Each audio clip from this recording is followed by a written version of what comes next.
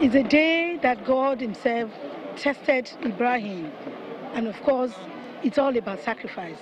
Again, let us, whatever it is that we, we slaughter today, let us share with our com- within our, commun- our neighbors, our communities, because it's only this sense of sharing that everyone around us can have sense of belonging. We know that they've been quite supportive of this administration. I want to enjoin them to continue to support this administration because the growth and development and of course prosperity of Lagos is paramount in the mind of the governor, Mr. Akinwunmi Ambode, and all of us that are in government.